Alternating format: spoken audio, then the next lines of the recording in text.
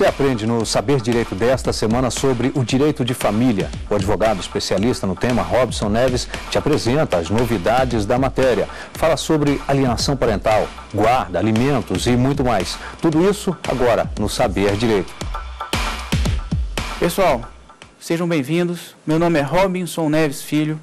Sou advogado do direito de família há 30 anos e fui convidado e com muita honra venho à presença de, de todos vocês para é, buscar atualizar e apresentar em nosso curso de cinco aulas é, os temas atuais de direito de família, em que vamos procurar demonstrar a proximidade que o direito de família ganhou né, depois da Constituição de 1988 à nossa sociedade, ao nosso convívio, às nossas dificuldades e, e, e problemas é, dos relacionamentos familiares. É, nessa primeira aula, vamos tentar abordar a demonstração e a tradução, vamos dizer assim, do que a Constituição de 1988 fez é, no vetor do direito de família, no sentido de transformar a sua principal é, função em atender ao afeto, nós tínhamos até 1988 toda uma legislação voltada especialmente para atender o interesse patrimonial, individual de cada pessoa dentro do direito de família. A proteção toda ela buscada pela lei era naquilo que se referia a coisa muito mais material. O afeto parecia então muito esquecido. A partir de 1988, o vetor mudou completamente. Saiu da pessoa, saiu do, do, dos bens, saiu de toda a, a, a estrutura patrimonial de uma família para adentrar no campo puramente afetivo. Ou seja, hoje o que importa para o direito de família é a afetividade.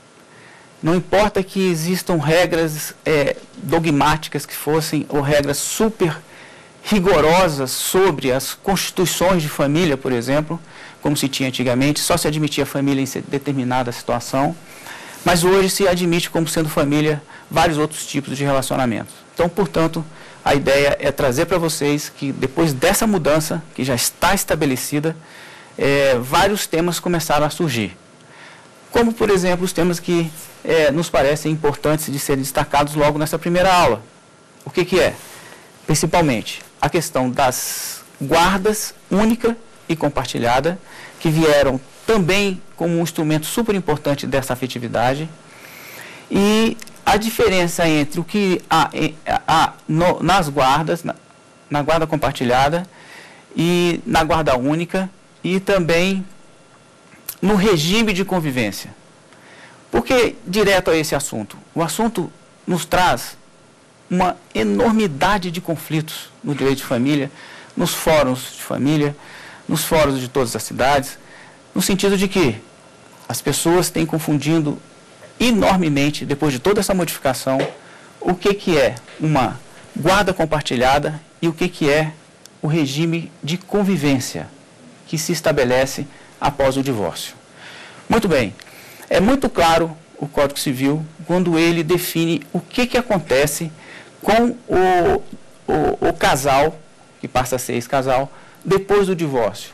A única, a única instituição do direito de família que não possui modificação quando o ex-casal possui filhos é a convivência entre os pais e os filhos.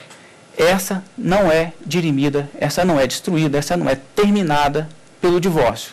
Todos nós sabemos que todo casal que se separa, que hoje é, se divorcia, que é o termo mais certo, é, não vai perder a convivência com seus filhos, vai permanecer com convivência com seus filhos. Isso não quer dizer que a guarda tenha que ser a compartilhada ou a guarda única.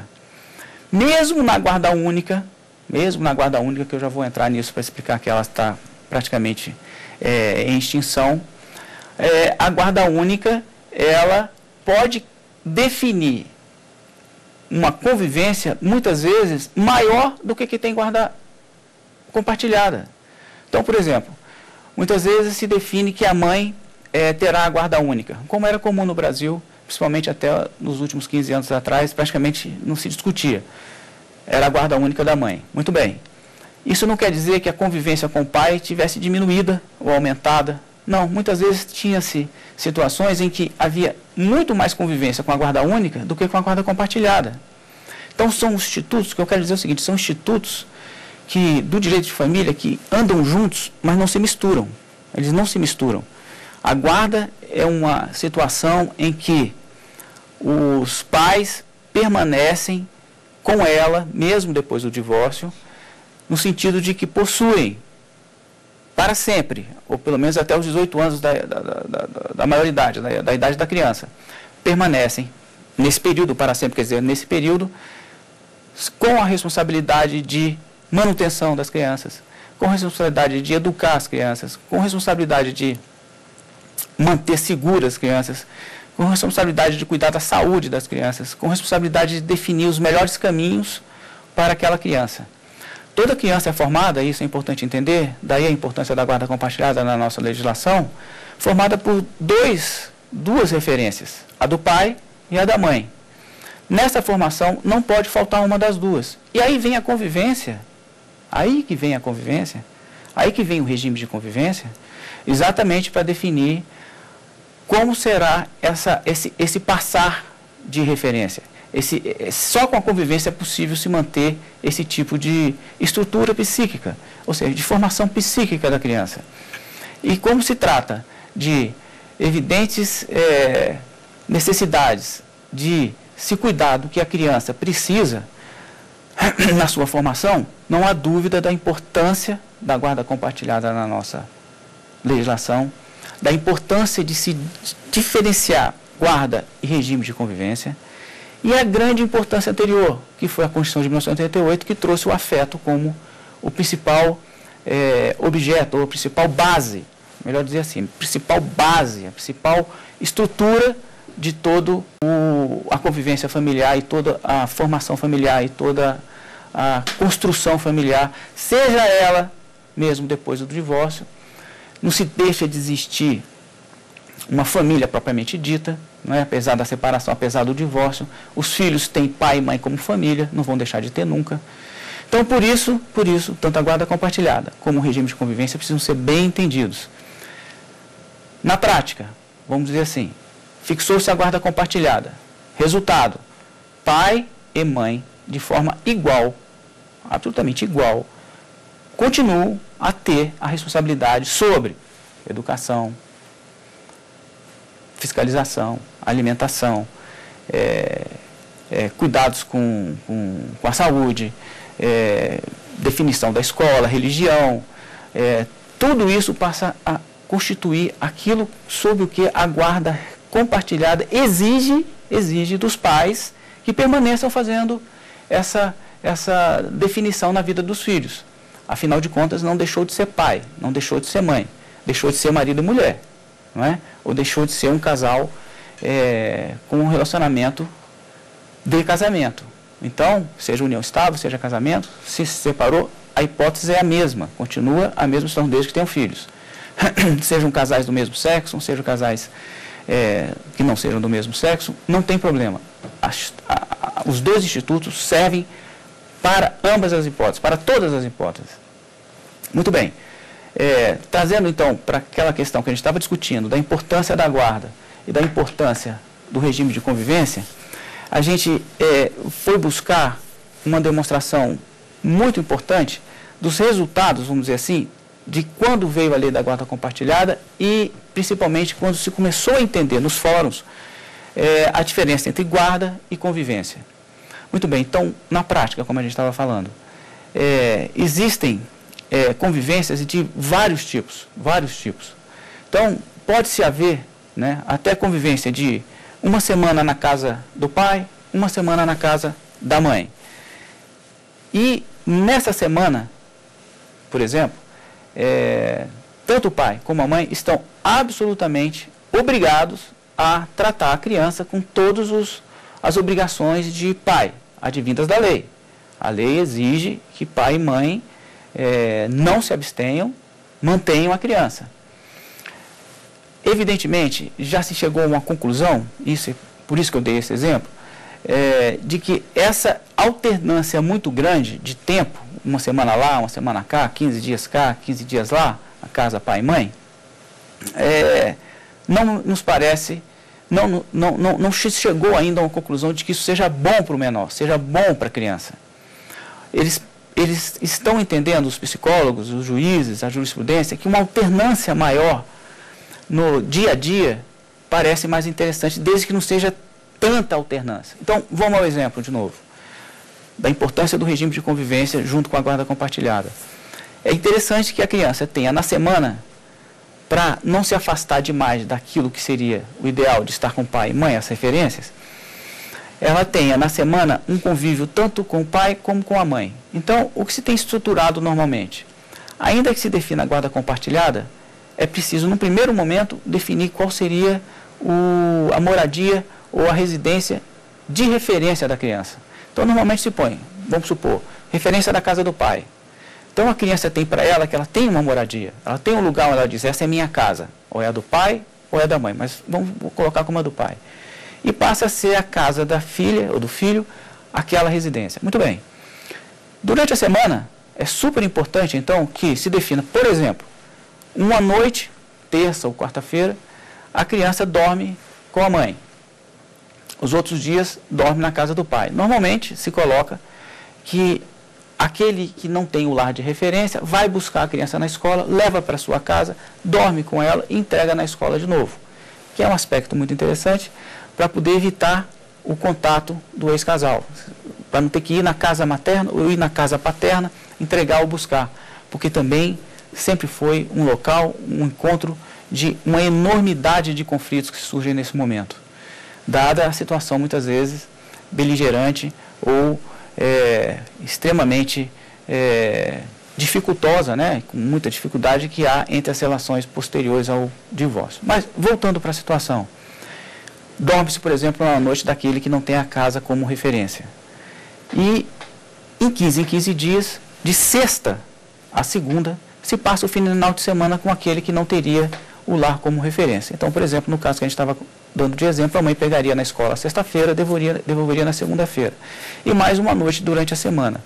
Fora as possibilidades, por exemplo, sendo possível através da, da, da, da, combinação de um acordo, até de fixação em sentença também, no sentido de que pode-se pode buscar a criança na escola determinado dia, mesmo que não seja um dia que vá pernoitar, Pode-se buscar a criança em um determinado dia da, da, da semana para levar para o inglês, para levar para um esporte, para levar para uma situação dessa natureza. Agora, é, isso tudo foi se construindo nesse, nessa última década, né, foi se construindo dessa forma, porque antigamente o que a gente via era o seguinte: guarda única, mãe, convivência, nem essa palavra era usada, mas se usava visitação. O código, infelizmente, ainda tem essa palavra no, no Código Civil. Mas é, a referência é pai e mãe não visitam filho, né, nessa idade pelo menos, até os 18 anos. Mas criam, eles criam os filhos. Eles não estão visitando filhos, estão convivendo, estão passando, estão formando a criança. Então, é, é super importante destacar que antigamente se tinha 15, 15 dias, final de semana, pega o sábado na casa da mãe, devolve o domingo na casa da mãe, ou ao contrário é, e gerava assim uma enormidade de conflitos e uma distância muito longa. São 15 dias sem ver, são praticamente 15 dias, vi uma vez por mês, né, no final de semana. Num período em que final de semana normalmente não se está trabalhando, não se está na escola, é, é só diversão, ou enfim, é, conforme a situação de cada família. Então era uma convivência um pouco fora da realidade, é uma realidade pequena, né, em relação a todo um, o, o, conteúdo de uma formação familiar, de uma formação de uma criança, é, como a gente está acostumado a dizer. Então, isso foi ficando para trás, ainda bem. Exatamente por isso que a convivência é um instituto que precisa ser destacado da guarda.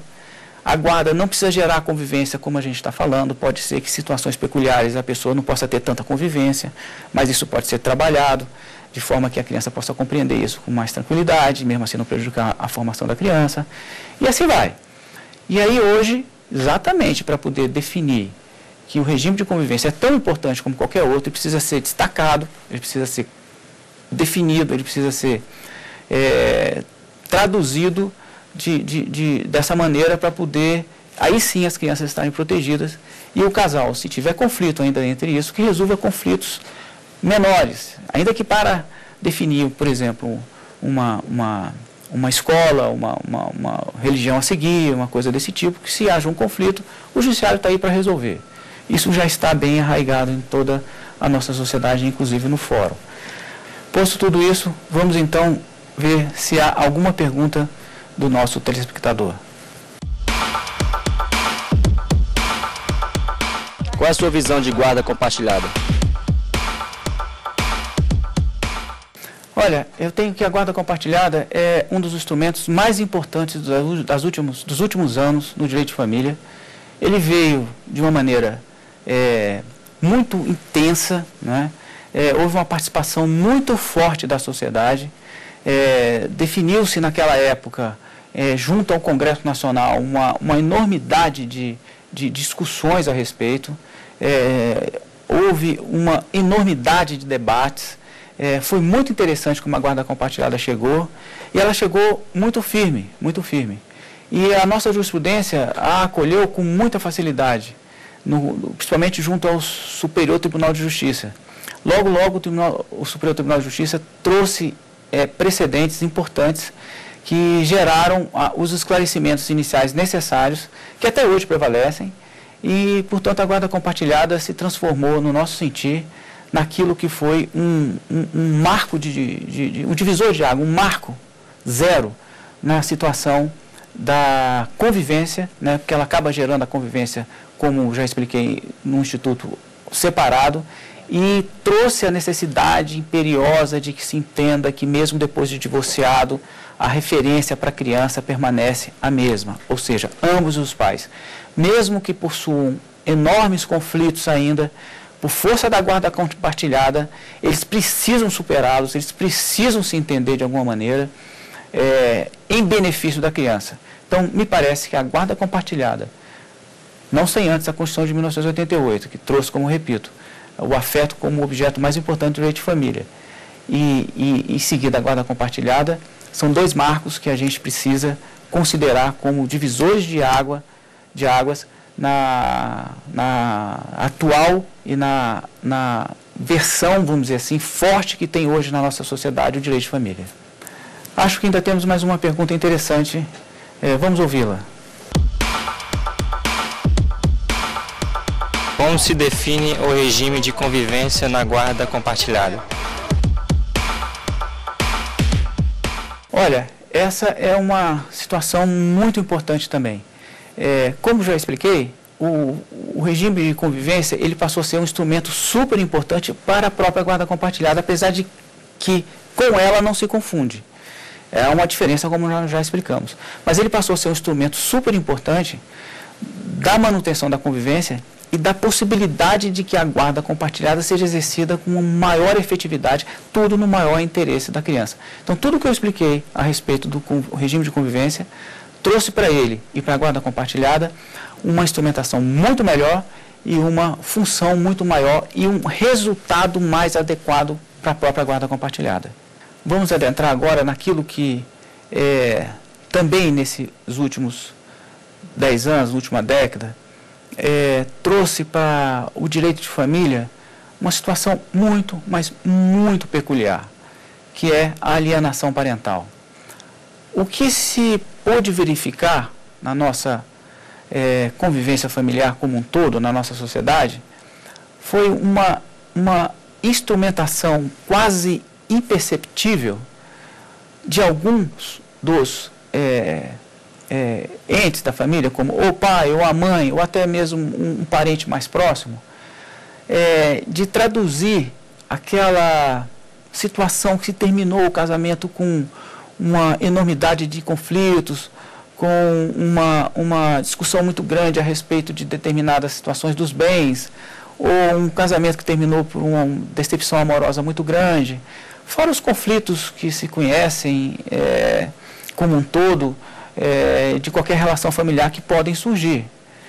Que é uma maneira que, muito sutilmente, um dos entes entes, eu quero dizer aí, pai, mãe ou qualquer outro parente próximo, é, que, ou que detenha algum tipo de ascensão sobre a criança, é, que, que busca introduzir na criança uma situação em que ela vai passar a querer não estar com aquele pai ou mãe, aquele ente, que para ela é muito querido, é, mas que para a família, vamos dizer assim, de alguém é, que se sentiu muito decepcionado ou está em um conflito muito grande porque se divorciou, enfim, passa a usar a criança como instrumento de afastamento do outro, do outro pai.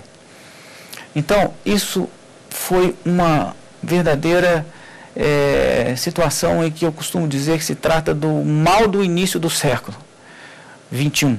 Não é?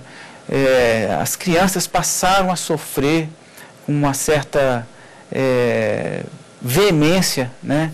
com uma certa é, peculiaridade de maldade, né? essa, essa introdução na sua vida de que aquele ente que foi o, o pai ou a mãe que deixou o casamento, que o casamento acabou, que a pessoa sente que é, muito sofrimento por causa daquilo e culpa muito o outro, no sentido de que é, aquilo transformou de uma maneira muito, muito forte o sentimento de ódio, o sentimento de aversão àquele então ex-marido ou ex-mulher, ou ex-companheiro ou ex-companheira. Nessa situação, passou-se a se verificar numa, numa, numa grande quantidade, né? e isso também foi um dos, dos fundamentos pelos quais o Congresso buscou a guarda compartilhada como instrumento de, de evitar essa situação, que é o da alienação parental. A coisa se transformou numa situação de tamanha monta que o legislador foi muito preocupado em definir o que, é que seria alienação parental para poder evitar. Não é comum você encontrar na lei, qualquer lei, conceitos conceitos do que é um instituto. É, você raramente encontra em qualquer dispositivo legal conceituando-se se, se, se isso ou aquilo significa A, B ou C. O que a gente encontra na lei normalmente é uma previsão é, de regulamentar determinadas situações, como um todo, todas as leis. Mas aqui a preocupação era tanta que o legislador ele, ele, ele foi buscar da maneira melhor e introduziu na lei, no seu artigo, primeiro, já vou citar exatamente a lei, que é a nossa lei 12.318 de agosto de 2010, ele introduziu o conceito do que seria alienação parental. Tamanha, repito, tamanha era a preocupação do legislador com toda a situação social que vivia, no sentido de que as famílias estavam, todas elas, é, com risco de sofrer essa alienação parental. Eu jazinho vou ler aqui qual é o conceito, mas eu queria antes é, trazer mais alguns elementos. Quais são? É, muitas das vezes, essa, essa, esse sentimento ruim, não vou chamar o, qual o sentimento, mas o sentimento ruim para com o outro que se deixou ou que foi deixado, é, pós-casamento, né? É, com o divórcio decretado, a convivência está definida, às vezes a guarda é compartilhada mesmo, mas se começa a introduzir, se começa a, a, a é, é, fomentar na cabecinha da criança o que a gente chama de falsas memórias. Tanto que a alienação parental, no seu começo, era chamada de síndrome das falsas memórias.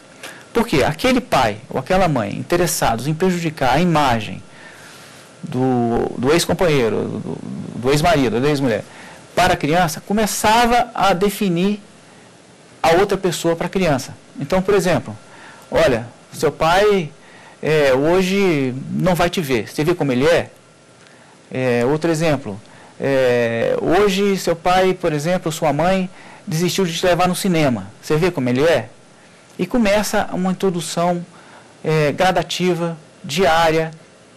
Isso pode ser feito por qualquer ente, pode ser uma avó, pode ser um avô, pode ser uma tia, pode ser um tio, pode até ser alguém que seja apenas guardião da criança, que não seja o pai nem a mãe, mas começa a introduzir que aquele é, ente querido para a criança, né? porque a criança, repito, ela não separou do pai nem da mãe, quem separaram foram pai e mãe, divorciaram, é, passa a introduzir na criança elementos de quebra da imagem, quebra da, da, da, da, da pessoa em si, é, como um todo, para a criança.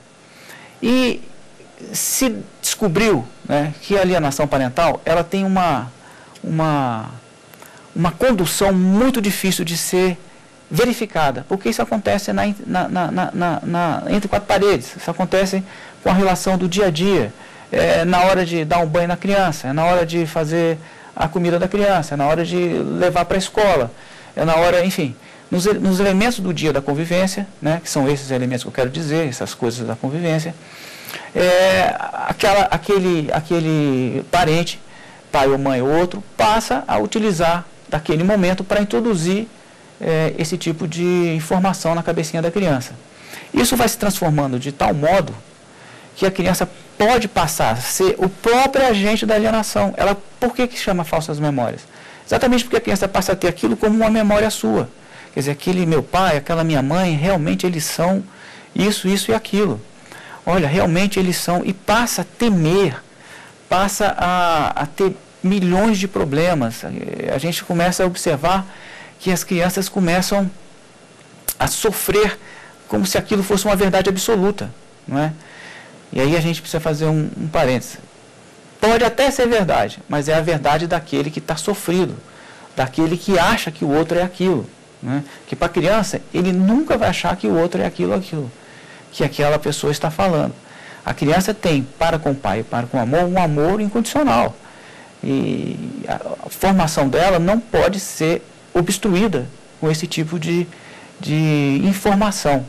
E essa informação prejudica mesmo, traz elementos psicológicos terríveis, transforma essas crianças, muitas vezes, em, em adolescentes altamente problemáticos, adultos prejudicadíssimos com a, com a sua formação, para depois, mais tarde, serem pais, serem mães, casarem, terem convivência, enfim, é, seja qual for a situação de vida de cada um.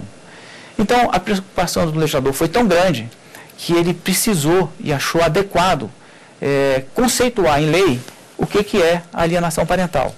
Então, vale a pena ler. Diz a lei 12.318, de 26 de agosto de 2010, é, em seu artigo 2 considera-se ato de alienação parental. Olha como é importante.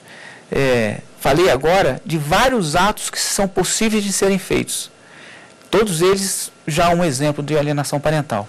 E a lei vem, considera-se ato de alienação parental a interferência na formação psicológica da criança ou do adolescente, promovida ou induzida por um dos genitores, como eu já havia falado, pelos avós ou pelos que tenham a criança ou, ou, ou adolescente sob a sua autoridade guarda ou vigilância, para que repudie genitor o que cause prejuízo ao estabelecimento ou à manutenção de vínculos como este. Então, olha só, estabelecimento ou a manutenção de vínculos como este entre pai, mãe e filhos. Então, é, para se chegar ao ponto de o próprio legislador buscar a conceituação, a gente encontra uma situação muito séria. E nós realmente encontrávamos à época uma situação muito séria. Hoje ainda é muito difícil, levando para a prática de um processo judicial, por exemplo, é, você conseguir demonstrar que aquela criança foi alienada. São provavelmente anos de processo.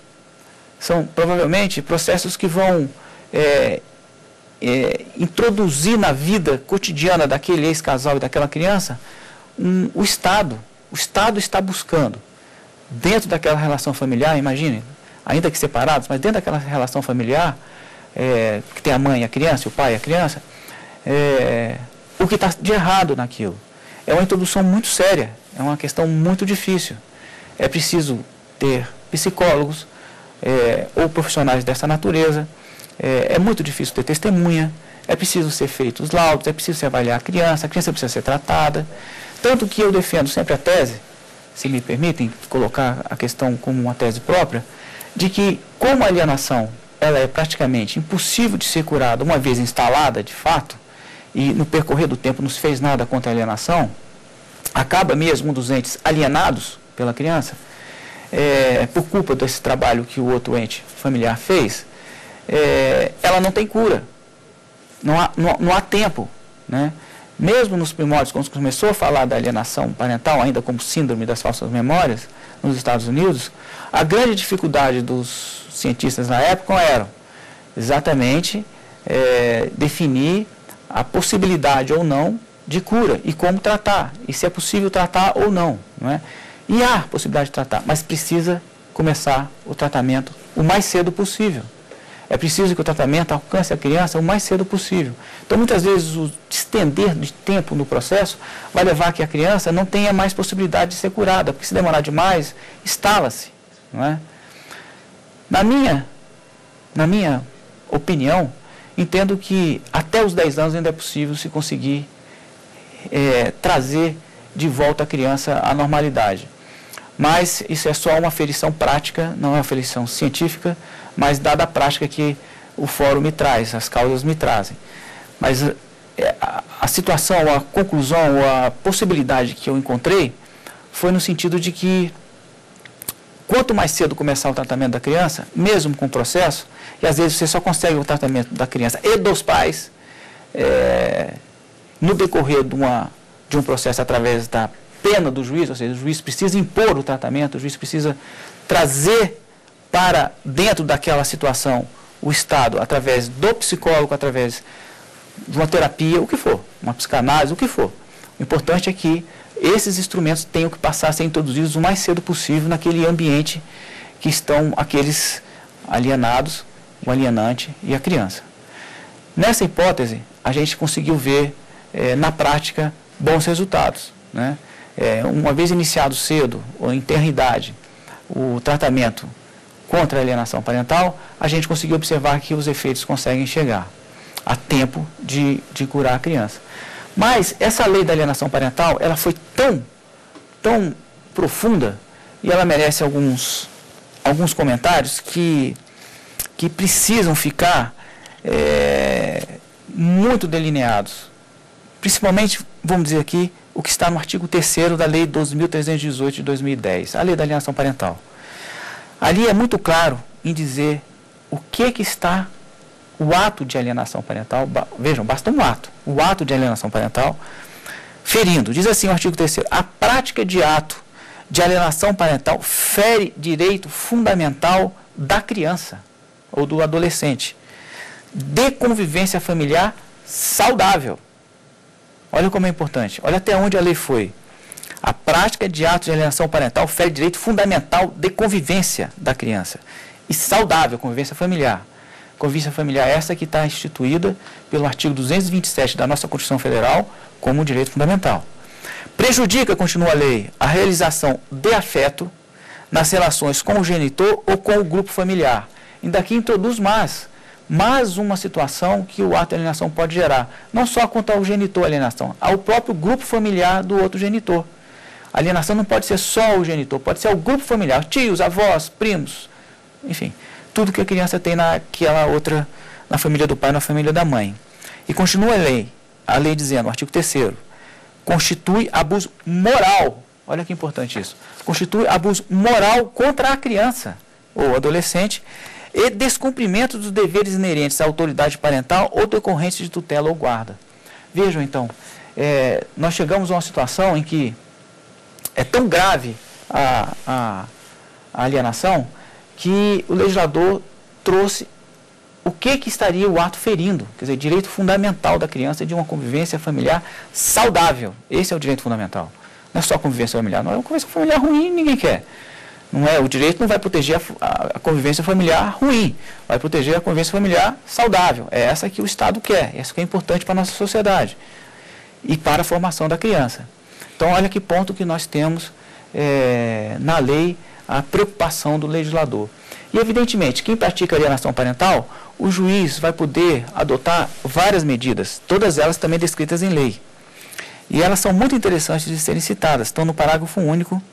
É, do artigo do artigo 6 ou melhor, estão, estão no artigo 6 é, em seus incisos, são oito incisos da mesma lei, a lei da alienação parental, que é a Lei 12.318 de 2010.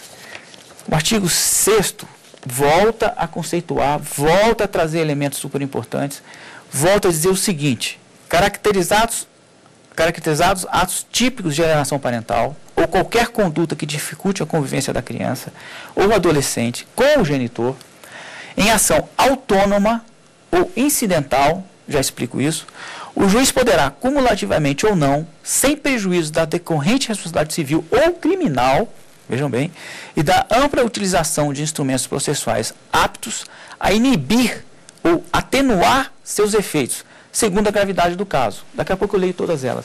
Mas o que é importante dizer sobre esse artigo aqui?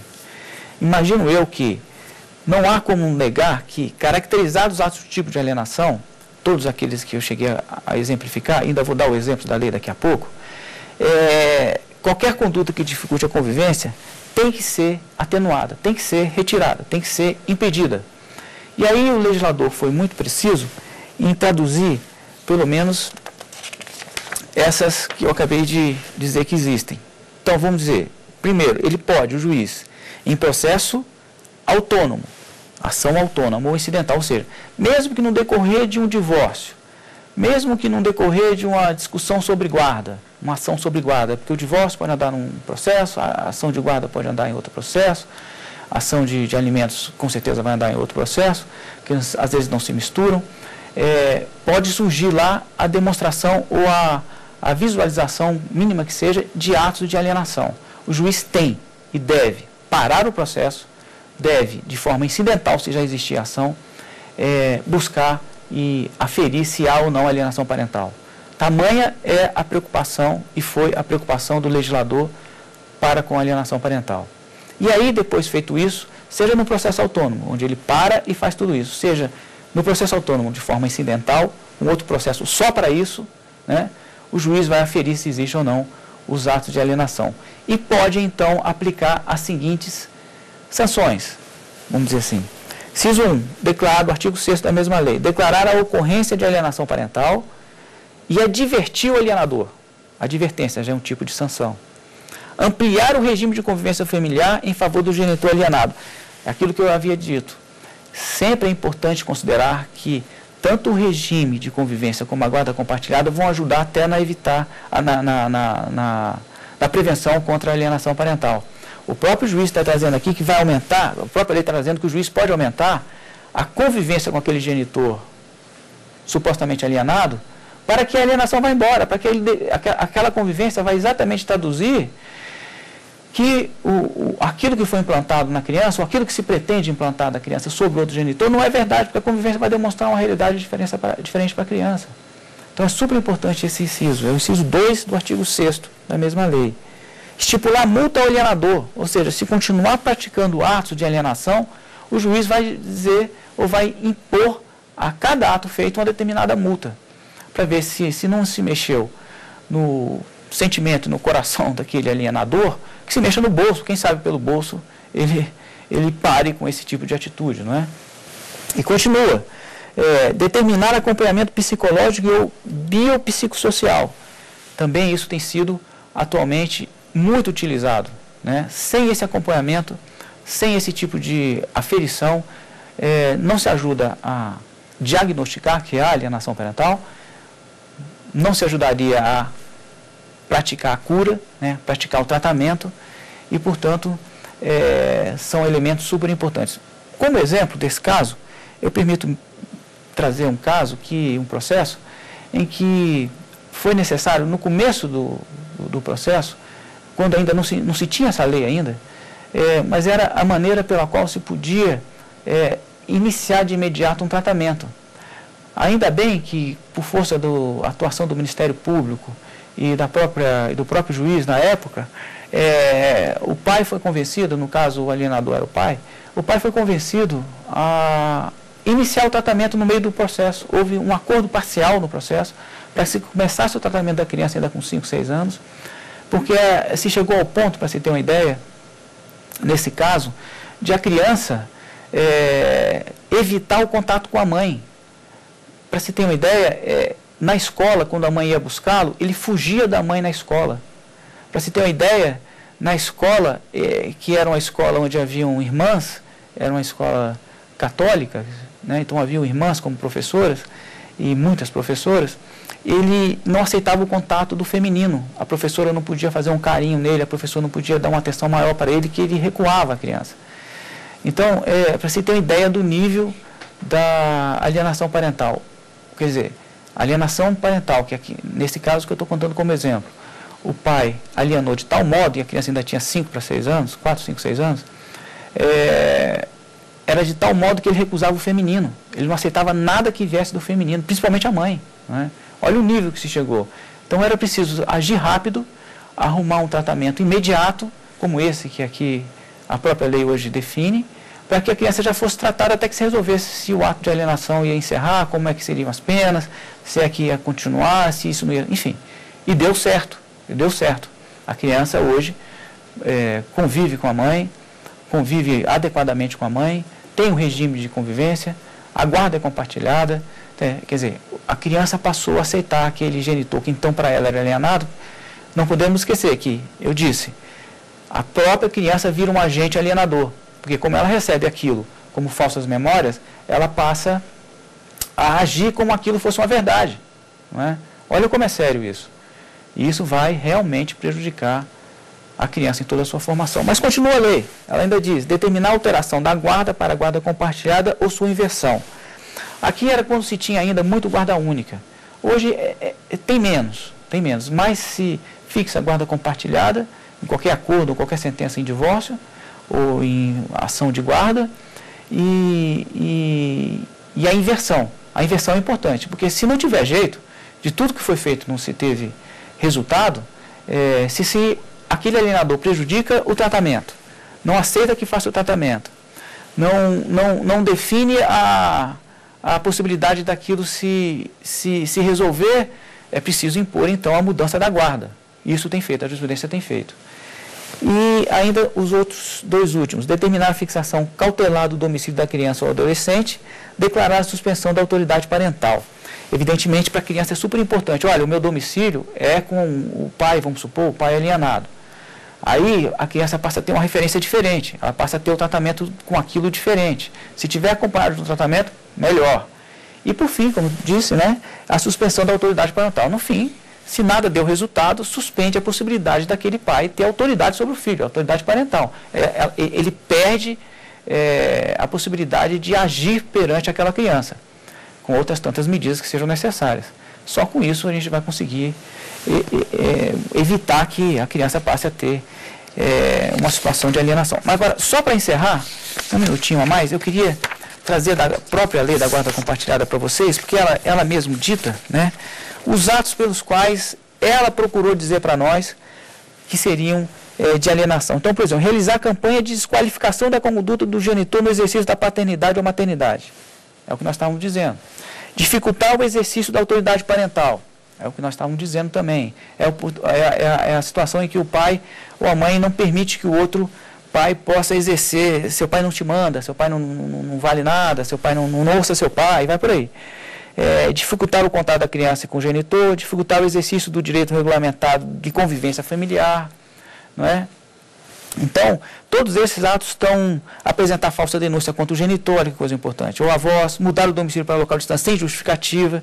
E aí vão os atos que a lei definiu, não são exaustivos, eles são apenas exemplificativos, pode haver, haver outros tipos de atos que a lei não defina. Exposto tudo isso, passemos então à pergunta de nossos telespectadores. Qual a influência do genitor alienante na relação de convivência com o genitor alienado? Sim, a influência ela é, ela é o fator primordial para que a alienação possa acontecer. Melhor que não houvesse, não é? Mas é, é a doença, que essa alienação é uma doença, ela é imposta exatamente em virtude dessa influência que o genitor alienante vai praticar com a criança para que o outro genitor seja alienado. E como eu disse, acaba transformando a própria criança em um agente da alienação. Tanto que muitas vezes o, o alienador ele sai dessa dessa, dessa relação com a criança, ele deixa de fazer atos de alienação muitas vezes, porque já implantou de tal forma que a criança passa a ser um instrumento forte né, é, da, da, da, alienação. E, e, e interessante dessa pergunta é que muitas vezes, para poder se diagnosticar, descobrir alienação, não se vai olhar o alienante, é preciso olhar a criança. A criança nessas situações, muitas vezes, evita o máximo, como eu contei o exemplo da escola, né, da mãe que ia buscar na escola e a criança fugia para não ir com ela, para não vê-la. Acontece muito da criança simplesmente não querer ir no dia da regime de convivência, no dia que o pai ou a mãe vão buscar, é, não querem ir de forma alguma. Evitam, gritam, choram. Tem criança que passa mal, tem criança que vomita, tem criança que fica com febre, tem criança que, que chega a ter sintomas, às vezes até que a gente não conhece, né? É, alergias, é, enfim, para evitar de ter um encontro com, com o genitor que estaria alienado. Bem, pessoal, é, concluindo toda essa nossa primeira aula, a gente tem uma, uma demonstração inequívoca de como esses institutos estão ligados no direito de família. Tanto a guarda compartilhada, como o regime de convivência, como a alienação parental. Esse é um mal que a gente evidencia como um que precisa ser banido. Não é? E a guarda compartilhada, como regime de convivência, são instrumentos importantíssimos para que essa alienação não aconteça.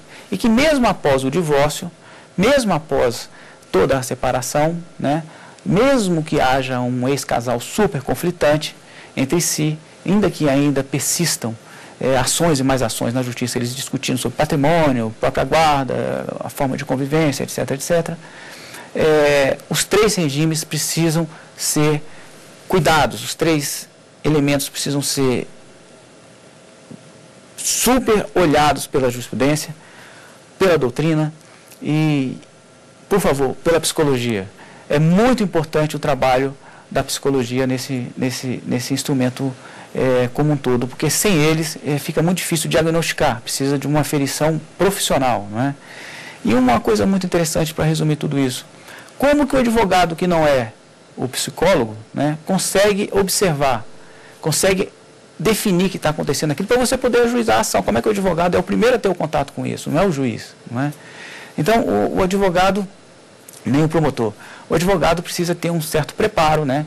é, ter noção do que se trata, ter noção desses regimes, né, tanto de convivência como de guarda compartilhada, para ver se naquela, naquele cliente não tem na fala dele, no, no, na introdução da história que ele está trazendo, ou ele está alienando, ou ele é alienado, e a criança com certeza já está é, com um problema sério.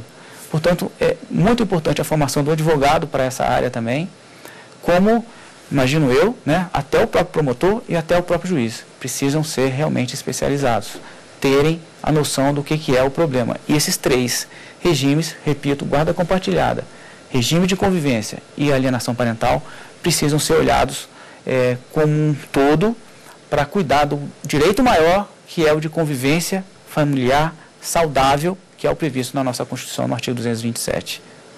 Muito obrigado. Ficou com dúvidas sobre a matéria? Então mande um e-mail para nós, saberdireito.stf.jus.br. E você também pode estudar pelo nosso canal na internet, tvjustiça.jus.br.